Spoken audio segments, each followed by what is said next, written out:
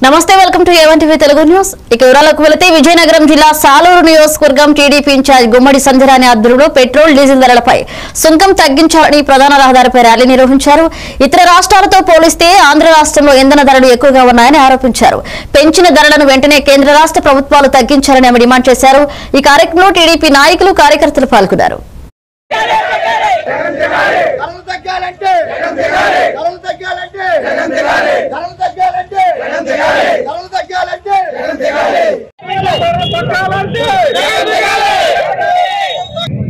ముఖ్యంగా ఆ రోజు పాదయాత్రలకు వచ్చిన రోజు ఉన్నవి లేనివి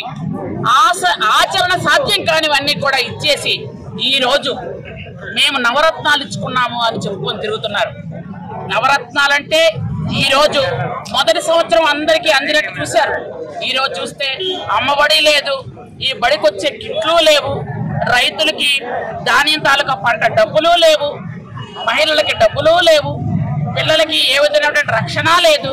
నిన్న పోలీసులు పిల్లలు కొట్టిన పరిస్థితి అనంతపురంలో చూస్తే